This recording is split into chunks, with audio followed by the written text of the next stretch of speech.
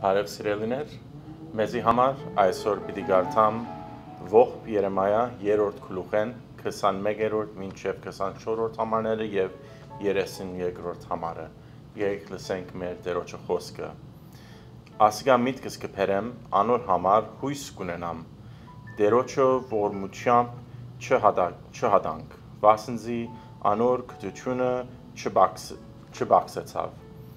անոնք ամեն արդու գնորոքվին, քու ճշմարտությունդ մեծ է։ Իմ հոգիս ասավ, դերը իմ բաժինս է։ Այս պատճառով անոր պիտի հուսամ։ Թեև ցավ գուդա իր ողորմության շադությունովը քդությունալ գնե։ Դերը օրտնե իր սուբ խոսքը։ Ուրեմն հոս Երեմայա մարգարեն այս գիրքը գրե 587 թվականին Հիսուսեն առաջ եւ այս ժամանակ ինք դեսավ Երուսաղեմի փոլորովին ոչնչացությունը դեսավ իր ժողովուրդը Երուսաղեմեն եւ Իսրայելցի ժողովուրդը տարածվեցավ քանի որ Պապելոնի թագավորությունը եկավ եւ Իսրայելի վրա հարձակեցավ եւ բոլոր Երուսաղեմը կանթեց եւ արավ իր ժողովուրդը իբր քերի եւ գրգեց թեւի ուրիշ աշխարհը, ուրիշ երկիրը։ Եվ այս այս քեշ եւ դժվար ժամանակին մեջ Երեմայա մարգարեն այս քիրքը քրած էր։ Եվ քիրքին մեծ մասը որ գարտան կտեսնենք որ բոլոր Իսրայելի ժողովուրդը դարաբանքի մեջ է։ Բոլոր Իսրայելի ժողովուրդը գքանքադի եւ Աստծո գսե ուր ես ասված։ Ինչ կնես նույնիսկ Երեմայա մարգարեն գրե որ իրենք իրենց քնարները գախեցին զարերու վրա, քանի որ այլևս երկ չունեին իրենց մեջ, որ երկեն։ Իրավես դխուր վիճակ մներ Իսրայելցի ժողովրդին մեջ, իրավես դժվար բաների անցան եւ Երեմայա մարգարեն այս քիրքը կգրե։ Ես ալ անշուշտ կմտածեմ մեր հայրենիքին համար այս օրերուն մեջ մենք ալ դարաբանքի մեջ ենք եւ մեր հայրենիքն ալ դժվար վիճակի մեջ է եւ կարելի մենք ալ դխուր ենք եւ ասողացնենք ուր է ստեր ինչ կլագոր բայց զարմանալի է որ ճիշտ այս քեշ վիճակին մեջ այս քեշ օրերուն մեջ որ Երեմայա մարգարեն այս ամեն ինչ տեսավ Իսրայելի չարչարանքը եւ տեսավ թե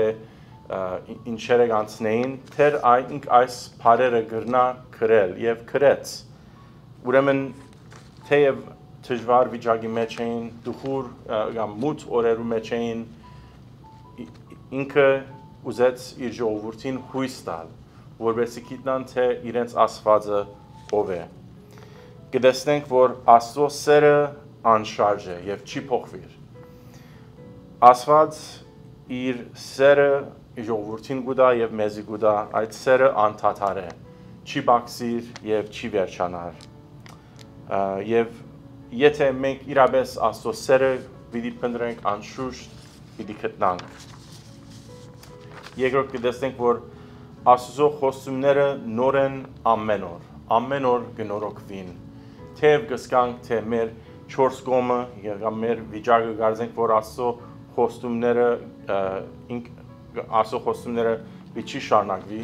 կտեսնենք, որ հոս Երեմայա մարգարեն գսե, որ ամեն օր գնորոքվին։ Կարելի Աստծո հարցնենք, ինչու ասի եղավ, ինչու այս վիճակի մեջ եմ։ Դեր ինձի այս բաները խոստացար եւ հիմա ճիշտ հագարակը գլա։ Անշուշտ այսպես կսկանք, բայց պետք է հիշենք, որ Աստծո խոստումները միշտ գնորոքվին եւ գշարնակվին օրե-օր նորեն, չեն բացիր, չեն վերջանար բայց եւ դերը իր խոստումները անշուշտ կվահե թեև մենք այն վարյանին անհամբեր ենք այն վարյանին գուզենք որ Աստված քա եւ մեզի ազատ է եւ այս տարաբանքեն ազատ է կամ այս չարչարանքեն ազատ է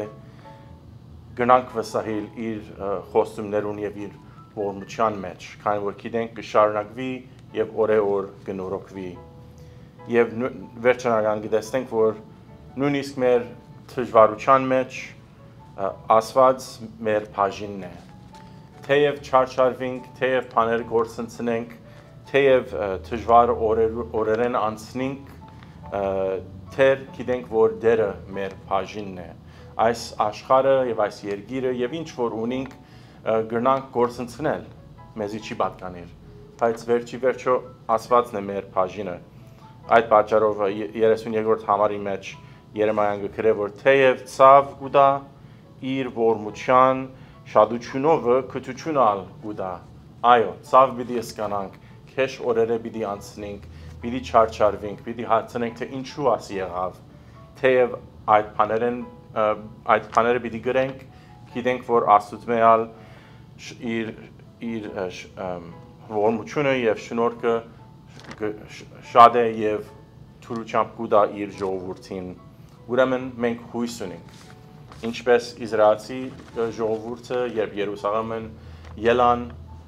հույս չունեին, բայց Երեմիա մարգարեն գրեց եւ խոսք տվավ իրենց, որ հույս ունենան մենք ալ իբր Աստծո ժողովուրդը եւ իր